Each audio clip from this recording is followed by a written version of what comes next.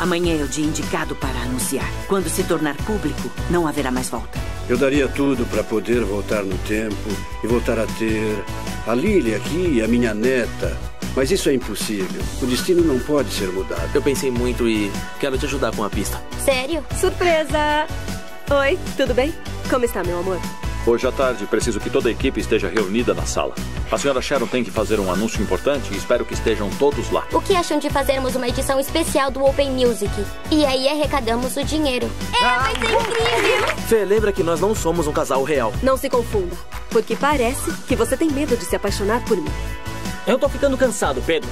Você tem que tomar uma decisão. Ou fica com a sua banda, ou fica com o seu papel de chefe. Eu vou falar toda a verdade sobre o segredo do Sol e da Lua. A partir deste momento, nada mais será como antes.